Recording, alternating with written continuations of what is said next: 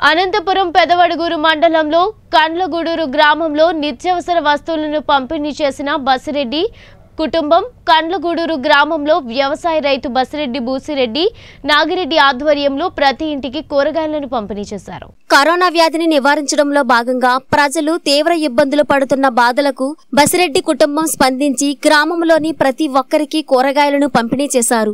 Corona వ్యాధి వ్యాపించకుండా ప్రతి ఒక్కరూ ఇంటిలోనే ఉండి బయటకు రాకుండా ఉండాలని సూచించారు.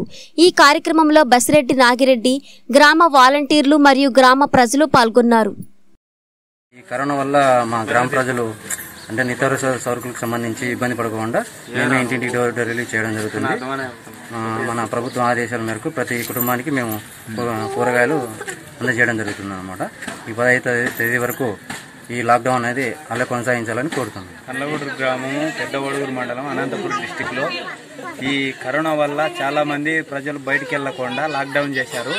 జగన్మోహన్ రెడ్డి మంచి ఉపాయమే చేశారు. కానీ ఈ ఆర- కాయగూరలన్నీ పంపిణీ చేయదలసిందిగా కోరుచు. ఇక్కడ బూస్ బసిరెడ్డి బూసిరెడ్డి గారు బసిరెడ్డి బసిరెడ్డి గారు బసిరెడ్డి నాగిరెడ్డి గారు ఇక్కడ ఇంటింటికి కూరగాయల ఆధ్వర్యంలో ఇక్కడ పంపిణీ చేయబడుతుంది. దానికోసమని ఇక్కడ మేము లాక్డౌన్గా కొనసాగించాలని కరోనా వైరస్ వల్ల చాలామంది ఇబ్బందులు పడకూడదని ఇంట్లో నుంచి బయటికి రావద్దన్నమ్మా అందరూ. దయచేసి